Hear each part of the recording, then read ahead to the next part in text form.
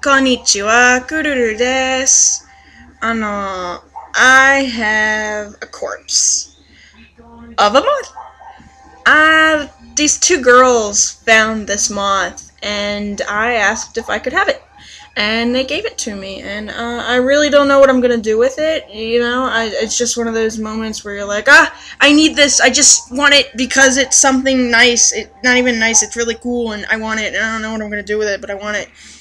Most of the time, people do that kind of thing with like furniture, clothes, or toys or something, and I'm the creep that does it with bugs. But um, this has got to be the biggest moth I have ever seen so far, and I was told that it was a sphinx moth, but I'm not. I'm not so sure about that because I googled it, and I got a bunch of pictures that don't look anything like this. And then again, almost all of its wings have been eaten up, so I really, I really don't know. But um, if anybody knows what kind of moth this is, you know.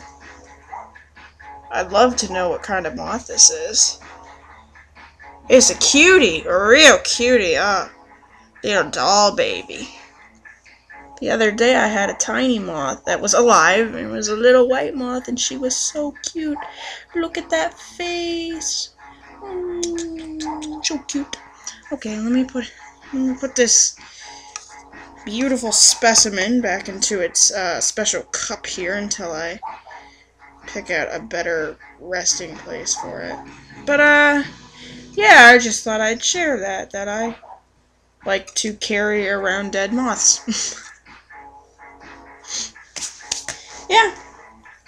I got a feeling that this is one of those moths that uh, like to lift its butt up like an elephant trunk. Oh, I saw one of those gray ones that do that. It's so weird.